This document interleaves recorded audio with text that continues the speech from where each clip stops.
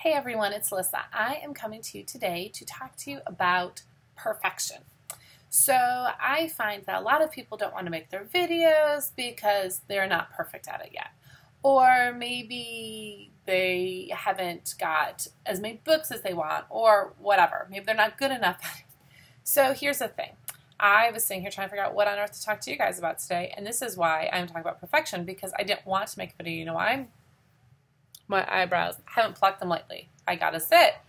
Oh, look, there's a mess behind me. You know, I think so many times we put too much pressure on ourselves to make sure everything is perfect. And mind you, you do want it to look nice. And yes, I even took a shower and have not brushed my hair. But bottom line, we need to just move forward and do things. Yes, maybe I would brush your hair before you do a video, but don't worry about if you your eyebrows haven't been plucked or you know maybe just push some things aside, make it as neat as it can be. You know what? People are people. Guess what? Their homes probably aren't perfect either. Maybe you don't have as many books as you think that you should have. It doesn't matter. Create a small um, Facebook party video with just the books you have.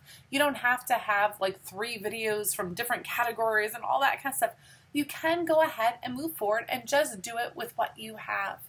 Um, it's super important, especially when it comes to Facebook party videos. This little side tangent, but when that they see your face, not somebody else's, not your team leaders, not some other random person on the team, to see you because you're who you they that you are who you want them to connect with. Sorry, don't know why that was such a tongue twister.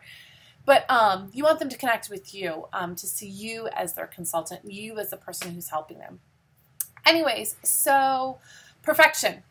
Throw it out the window and just do what you do. Do good enough. Oftentimes, your good enough is great.